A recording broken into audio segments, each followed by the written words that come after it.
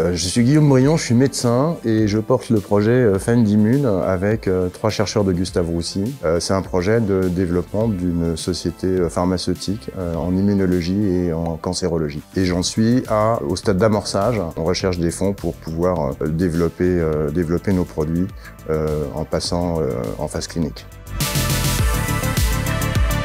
Plug and Start m'a permis de découvrir l'écosystème au bois, euh, d'entrepreneurs, d'investisseurs, de, personnalités politiques. Euh, et donc pour moi, c'était euh, très important de participer à cette, à cette manifestation.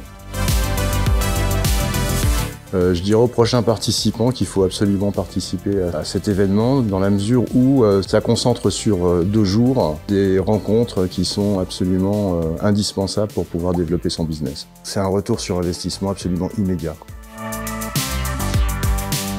C'est une citation de euh, Alan Kay. Le meilleur moyen de prédire l'avenir, c'est de l'inventer. Par rapport à mon projet dans 10 ans, déjà dans 5 ans, euh, dans 5 ans, c'est une licorne. J'ai eu deux fois le prix de la licorne avec ma boîte précédente. Le prix de la licorne d'Euronext. Donc je suis en train d'essayer de refaire la même chose.